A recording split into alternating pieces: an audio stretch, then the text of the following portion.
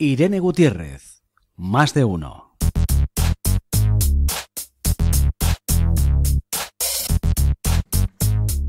Y ya ustedes saben, queridos oyentes, que cuando oyen esa sintonía, esa música, es que venimos con alguna entrevista muy importante para ustedes y para todo el público que nos escucha. Así es que eh, en este momento son las 13 y 12 minutos y acaban de llegar mis amigas y mi nuevo amigo de la Asociación Española contra el Cáncer.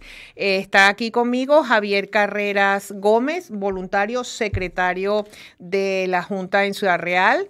Tengo a Marmuela Lázaro, que ya ha venido muchas veces, igual que María Gracia Dueñas, que nos han acompañado en varios programas para contarnos muchísimas cosas sobre el cáncer. La presencia de estos amigos míos hoy aquí es porque mm, el próximo 31 de marzo va a haber una jornada, como les comenté antes, sobre el cáncer de colon para pacientes oncológicos y familiares y para no pacientes también eh, que pueden acudir a buscar información.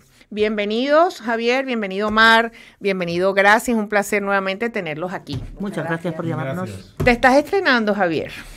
Me estoy estrenando, efectivamente. Eh, eh, nos hemos incorporado recientemente la, la, junta, la nueva Junta Rectora, nos hemos incorporado a nivel provincial en el pasado mes de noviembre. Y bueno, pues estamos realizando pues todas las acciones vinculadas a la actividad que tiene que desarrollar esta asociación eh, desde entonces con un nuevo proyecto, con, dando continuidad el que había, pero con proyectos, con proyectos nuevos y con expectativas nuevas. Como ustedes saben, queridos amigos, eh, el cáncer, eh, a ver, el cáncer el colorectal es la segunda causa de muerte por esta razón detrás del cáncer de pulmón.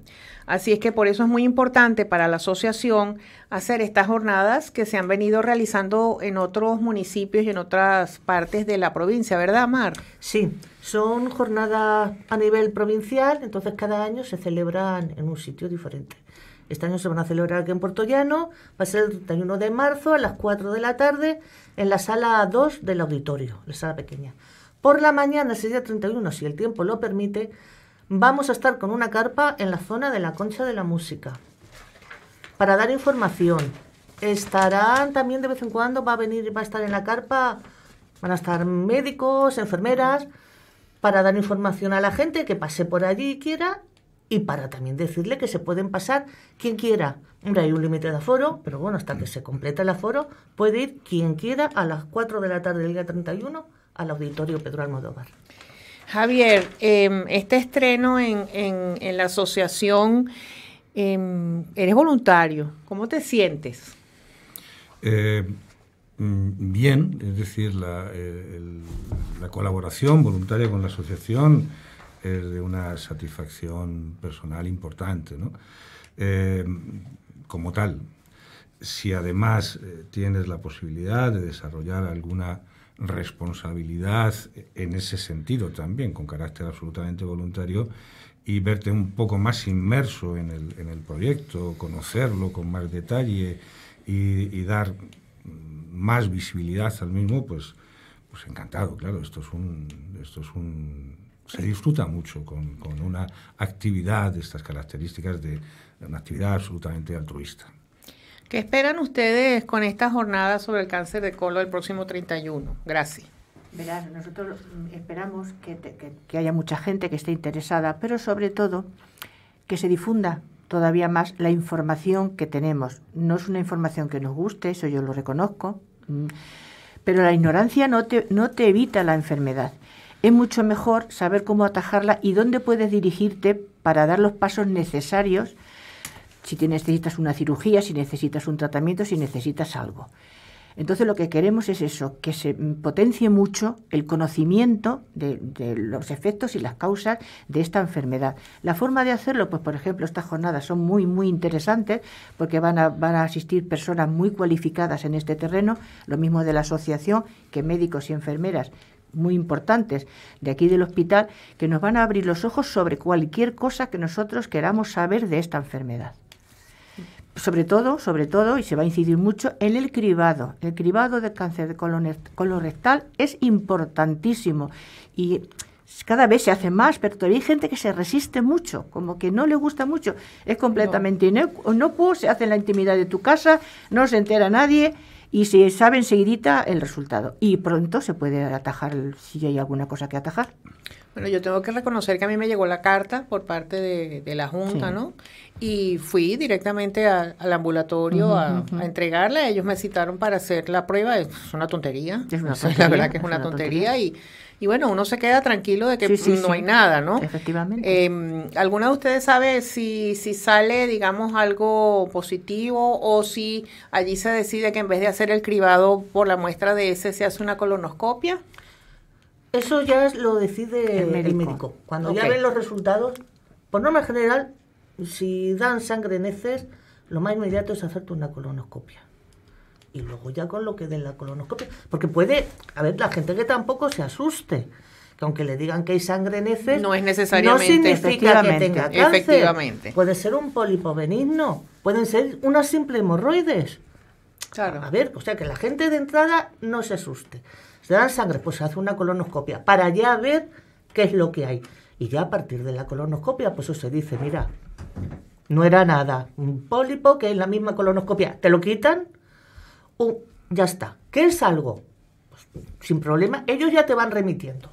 Ellos ya te van. Y si se coge a tiempo, es estupendo, porque ni quimios, ni radio, ni nada. Una si se coge a tiempo una buena cirugía, y estupendo, y ya está. Ah, maravilloso. Entonces ya saben, queridos amigos, jornada sobre el cáncer del colon para pacientes oncológicos y familiares y no pacientes Efectivamente. que también pueden asistir y están cordialmente invitados este 31 de marzo a las 4 de la tarde, estar un poquitito antes para la entrega de acreditaciones en el auditorio Pedro Almodóvar. Pero ahora voy a conversar con Javier porque también es importante, esta es una información sobre este tipo de cáncer, pero también es importante conocer el trabajo que hace, que hace la Junta a nivel provincial. Eh, estamos empezando el año, pero deben venir muchos más eventos en otros puntos también de la provincia. Sí, sí, yo creo que uno de los temas fundamentales lo, planteaba la compañera eh, que me ha precedido en el uso de la palabra, eh, es conocer exactamente qué es lo que hace la asociación. Hay un punto que para mí es importante y es, esta asociación atiende a pacientes, no pacientes, familiares y amigos. Es decir, cualquier persona que tenga o que pueda tener una incidencia vinculada a, eh, lamentablemente, a, este, a, esta, a esta enfermedad. Eh, es la única asociación a nivel nacional que atiende mm, a todo el mundo, seas o no asociado. Y esto yo creo que es un punto, es un punto importante. Yo creo que la gente debe conocerlo porque eh, eh, bueno, pues te, facilita o te, te, favorece en ese sentido cualquier atención, no solamente vinculada con la enfermedad, sino cualquier atención psicológica, de ayuda, económica, etc. Es decir, tramitamos todo ese tipo de cosas. ¿En qué línea trabajamos fundamentalmente? Trabajamos en tres líneas. La prevención, el cribado de colon es, una, como, decía, es decir, eh, cuanto antes podamos detectar la la dificultad, pues evidentemente más expectativa de trabajo podremos tener sobre ella. Entonces, y en ese sentido, pues mm, eh, acabamos de incorporar a, una, psicóloga, una psicóloga en, la asociación en Ciudad Real, eh, que se va a dedicar exclusivamente a ese, a ese área. Y esto yo creo que es, muy importante. La otra línea de trabajo es, lógicamente, la atención personalizada, eh, que redundo otra vez en lo que decía antes, es para todo el mundo. No es exclusivamente para el asociado, no es exclusivamente para el paciente, sino para todo el mundo que quiera eh, disponer de determinada información. Y posteriormente trabajamos en la investigación, que es un capítulo que no, tampoco es muy conocido. Eh, desde Ciudad Real estamos financiando tres becas predoctorales vinculadas con la investigación, una postdoctoral y en la actualidad estamos en contacto con el, con el rector de la universidad, la, reunión la hemos tenido hace, hace poco tiempo, para eh, intentar montar una cátedra. Entonces, eh, bueno, pues yo creo que estas tres líneas de trabajo eh, nos pueden llevar a desarrollar lo que pretendemos, que es eh, la planificación que tenemos es salvar en, los próximos años, hasta el 2030, 200.000 vidas y e intentar, conseguir que los efectos, los efectos del cáncer no, eh, no vinculemos cáncer con muerte, a ver si vinculamos cáncer con vida. Es decir, eh, ya sabemos que esto, el cáncer nos asusta, pero vamos a intentar vincular, vincular el cáncer con un proyecto de vida con las limitaciones que correspondan. Es una labor intensa, pero muy fructífera, creo, y muy creo que debe llenar mucho, ¿no? Sobre todo eh, me gusta esta parte de, investigación, es necesario, o sea, si encontramos la vacuna del COVID en menos de un año, tenemos que de alguna manera seguir investigando para que aparezca algo, no, digo vacuna, pero que aparezca algo que nos ayude a detener todavía más eh, el avance del cáncer. Em, em, a ver, em, tú tienes muchos, digamos, delegados. Aquí tienes a María, tienes a Gracia y tienes a Martín que no nos acompaña hoy. Em, esto es como decía una vez Mar, esto es como, como un pulpo, una cabeza grande que luego tiene muchos tentáculos. Eh, te tienes que dirigir a toda la provincia, me imagino, y tienes que dar, visitar y apoyar a todas las juntas de cada local, de cada municipio. Que mm, aparte de cómo está funcionando la, mm, la asociación, hay muchos proyectos en cada municipio, ¿sí? ¿Qué eventos hay? ¿Qué, con, tienes, por ejemplo, para ahora, para Semana Santa, para abril? Buf, eh, la planificación es, muy compleja, no, no, la he traído, pero vamos, toda la planificación que tenemos encima de la mesa está vinculada, insisto, con la prevención y con la investigación. Prevención, pues hombre, estamos trabajando en espacios sin humo, por ejemplo. En Ciudad Real. Eh, no, sí, bueno, estamos trabajando a nivel provincial. Ya se han identificado zonas con determinados ayuntamientos, como puede ser el de Ciudad Real, el de Miguel Turra, para determinar espacios sin humo y, bueno, pues bueno, intentar eh, prevenir esa, esa, esa, situación. Ya tenemos contactos con otros, me parece que son 10 o 12 ayuntamientos que ya nos han pedido eh,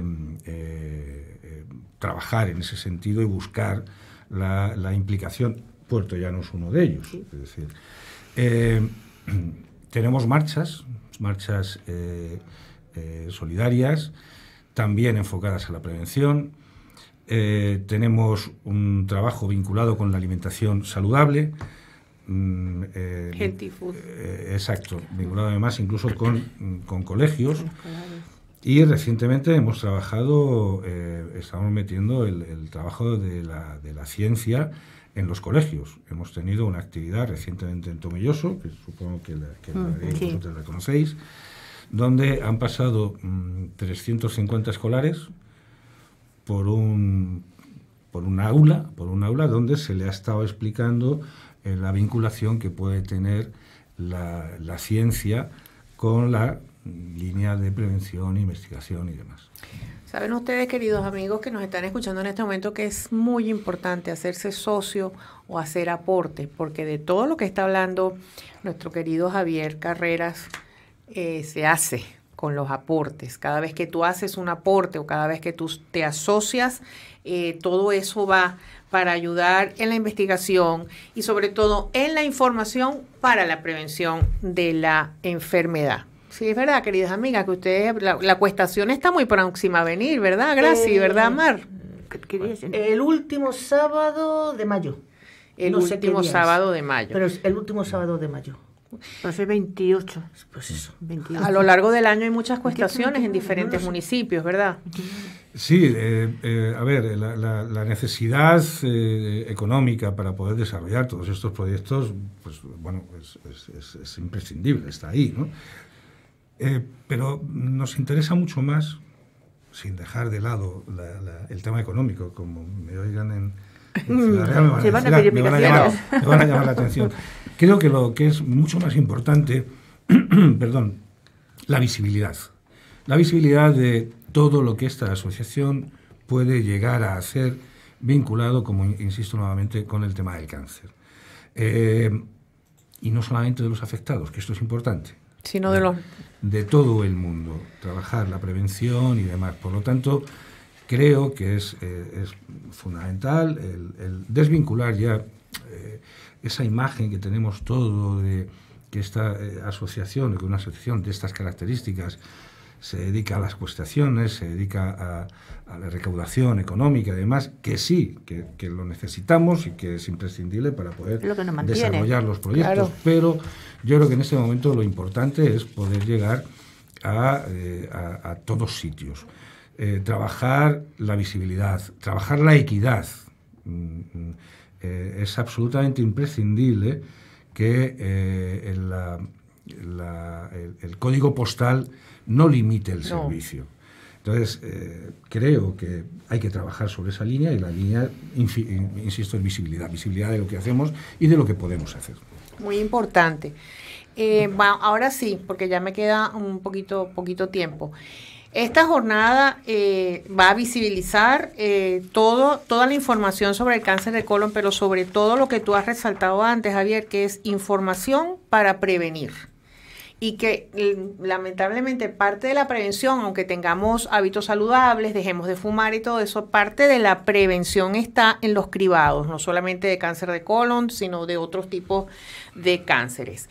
Y a mí me gusta, hay una campaña que se llama El Otro Test, el otro test. Todos sali hemos salido corriendo a hacernos el test del COVID, pero sí. nadie ha salido corriendo a hacerse el otro test, uh -huh. que es el que estábamos hablando antes, que es el test de sangre oculta en heces, porque si no, hay que hacérselo.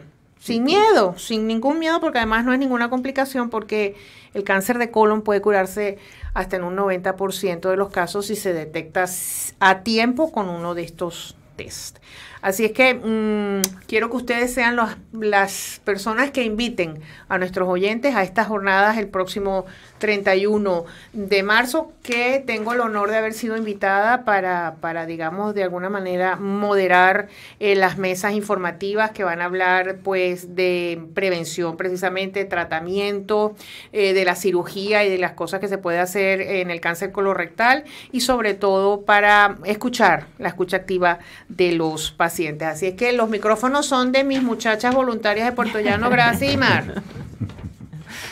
Pues incidir en lo que ya hemos dicho, que esperamos que haya, que haya pacientes y que, haya, que han estado en tratamiento, que lo están actualmente, familiares también, pero esto está abierto al público en general. Sabemos que hay mucha gente que, bueno, pues le da un poquito de repelús, pero también hay mucha gente que está muy interesada en el tema porque es algo que no sabemos dónde nos está esperando y cuanto antes lo sepamos, muchísimo mejor. Así que todo el mundo que esté interesado, allí lo esperamos el día 31 a las 4 de la tarde en la sala B del Auditorio Pedro Almodóvar. ¿Y en la mañana, Mar, qué va a haber? Sí, en la mañana, si el tiempo lo permite, y ya veremos, Eso. vamos a estar en la Concha de la Música, ofreciendo información a todo el que se quiera pasar por la carpa. Nos van a acompañar también médicos y enfermeras porque esos son los que normales, son los que están aquí en el frente de batalla. También decir que por la tarde nos van a acompañar médicos, pero que las charlas que van a dar no van a ser la típica charla al uso médica que llegan, hablan y ya está. No, quien quiera puede preguntar, se puede preguntar, son interactivas. Van a ir médicos de aquí de Portollano, cirujanos, vienen oncólogos de Ciudad Real. Y entonces son como tres partes. La primera se va a hablar sobre la prevención, en la segunda se va a hablar, una vez que te lo han detectado, qué, ¿Qué hacer? qué hacer. ¿Cómo va el protocolo? Y luego la tercera, que es la que está moderada por ti, es una charla con pacientes. Pacientes que están en tratamiento y pacientes que ya lo han superado. Y van a decir, pues, su experiencia. Su experiencia. Pues ya saben, queridos amigos, este jueves 31 de marzo a las 4, un poquito antes para que se les entreguen las acreditaciones, son est esta jornada sobre cáncer de colon. Pero también quiero recordarles que pueden hacer su aportación y que pueden asociarse a esta Asociación Española contra el Cáncer. Ha sido un placer conversar con Javier, eh, su secretario, que se está estrenando, ¿no? Creo que esta será la segunda vez que viene a, a un programa de radio. Sí, efectivamente. Y con mis queridas voluntarias de Puerto Llano, excelentísimas voluntarias, Mar y Graci. Así es que eh, a mis queridos oyentes y televisión, no se me vayan, que ya volvemos y los esperamos el 31 de marzo en esta jornada sobre el cáncer y haciendo alguna aportación para la asociación. Ya regresamos.